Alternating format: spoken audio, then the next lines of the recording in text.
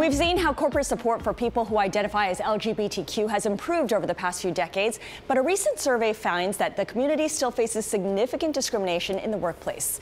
In today's Bloomberg Equality, I spoke to Rita Mitjans, Chief Diversity Officer at ADP, about how employers can foster a more inclusive work environment.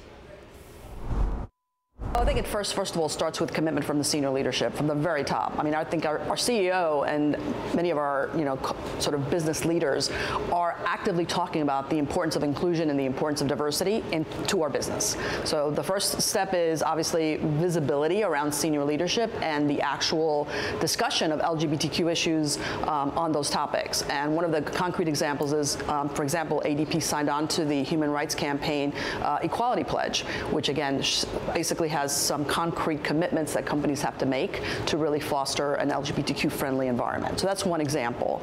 Uh, another example is fostering uh, employee resource groups. So at ADP, we have ADP Pride.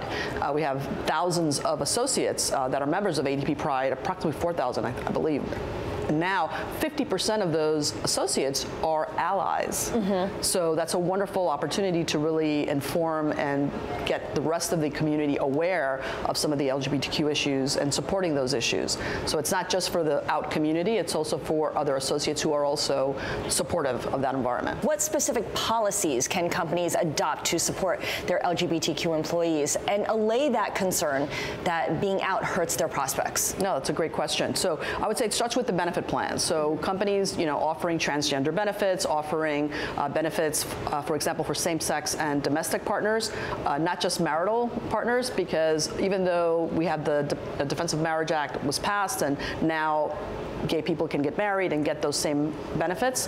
What happens is not every gay couple wants to get married. Right. So if you only offer those benefits to married couples, well then you're excluding a good portion of the LGBT community as a result. So what we did is we changed our benefit plan to basically read all domestic partners. So it's very inclusive. Uh, so I would say the benefits plans is, is for sure. I would say in terms of your recruiting policies, you know, partnering with organizations that target the LGBT community like Out and Equal for example. Mm -hmm. So those are all examples of, uh, you know, whether it's recruiting, whether it's your benefit policies, um, concrete ways that human resources can actually um, develop plans to support that. Should there be quotas in terms of making sure that you have uh, a certain percentage of candidates from certain populations? Is that a good idea overall? Yeah, we don't think of it as quotas. I mean, I, I don't think you can force these things. I think it's important. They have to be organic, right? Um, I think sending the signal that you are open and you have an inclusive culture and that you value uh, the, the, right qualifications, the right experience, regardless of where you come from, that's what's really important mm -hmm. uh, because you want the best talent um, in every situation. It's really good for the associate, it's also good for the company. The economy, as we know, is doing very well right now. It's been doing well for a long time, but the job market in particular is very strong.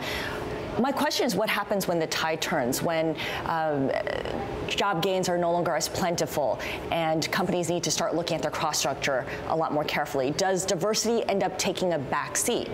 Well, I think the forward-thinking companies would tell you no. Uh, and the reason for that is because, you know, we all live in business cycles, right? And we have to think about the long term. And part of corporate sustainability is about developing a strategy that actually lets you be around for the long term and having a solid talent strategy that actually leverages uh, experience and diversity from all backgrounds is critical eh, to success, whether you're in a good market or a bad market. So I think the companies that uh, cut back on those things tend to be a little bit short-sighted.